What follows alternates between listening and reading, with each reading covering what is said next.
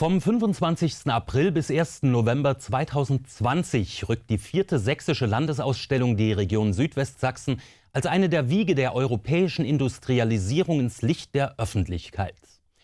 Neben der zentralen Ausstellung im Zwickauer Audibau werden an sechs weiteren authentischen Schauplätzen faszinierende Einblicke in wichtige Schlüsselbereiche der sächsischen Technik- und Industriegeschichte geboten. Zwei Jahre zuvor laufen die Vorbereitungen bereits auf Hochtouren.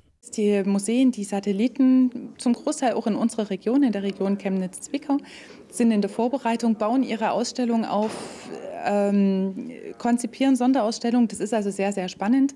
Aber auch die anderen Museen aus der Region. Ich denke jetzt beispielsweise an Esche Museum, Textilmuseum in Hohenstein-Ernsthal, die jetzt keine Satelliten sind, bereiten ihre, ihre Sonderausstellung vor und rüsten sich für dieses Jahr der Industriekultur.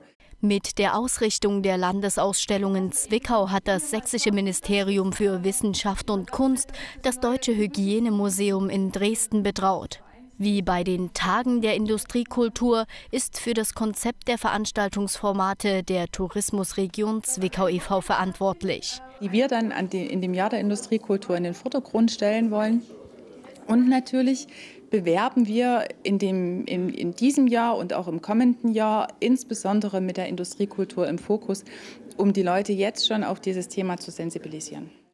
Auch junge Leute, die mit dem Begriff Industriekultur auf den ersten Blick wenig anfangen können. Für sie werden spezielle Formate erarbeitet. Ja, zum Beispiel ähm, das Raw Festival in Chemnitz, was äh, jedes Jahr anlässlich der Tage der Industriekultur stattfindet. Da gibt es natürlich auch ein Veranstaltungsformat speziell für junge Leute. Ähm, wir haben die E-Book, die Industriebrach und Umgestaltung, eine Initiative, die ja eigentlich in den Kleinstädten zu Hause ist, die auch dieses, äh, nächstes Jahr wieder in, in, eine Kleinstadt in Westsachsen ähm, führen wird und dort ganz viele junge Künstler holt und Street Art vorstellen lässt, eine Industriebrauche aufarbeitet. Aber wir werben natürlich auch mit sehr jungen Sachen.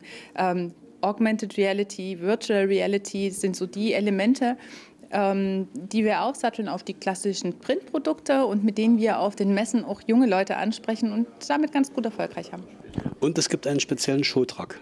Und wir haben einen Showtruck und dort eben auf diesem Showtruck, mit dem wandern wir im Moment durch die Region. Dort gibt es ähm, zwei Virtual Reality Stationen und dort können unsere Besucher mit einem Industrieroboter interagieren.